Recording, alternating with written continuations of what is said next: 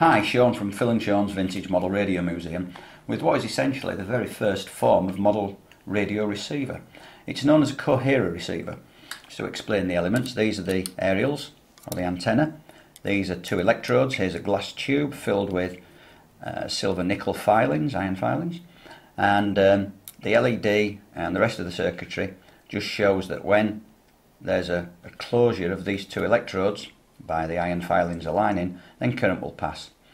The coherer was uh, widely used as a detector for radio communication, and in early 1884, experiments showed that if you had a setup just as this, when um, the electromagnetic wave or the energy from a spark hit these, they would cohere a line and close the circuit. The coherer became the basis of radio reception and remained widespread for 10, 12, 15 years. So here we go for the experiment generate a spark. So here's a, a gas lighter.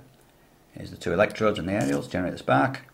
And as you can see, these have actually aligned and current is passing.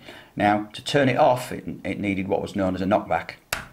And what's happened there is that we've decohered. The, the, the iron filings have now broken circuit. So again, click, and there we go. Generated an electromagnetic wave from the spark. It's made the particles align, the circuit's closed, and knock back. Now in model use, um, it was used to control an airship and um, a model airship and a tractor and some other uh, models as well. But uh, the, the, spark transmitters were very much more powerful than this. In fact, indeed, they're illegal today because they transmit all across the spectrum and could cause massive problems. Um, this is very low powered. This has a range of a, a meter, probably does this purposely.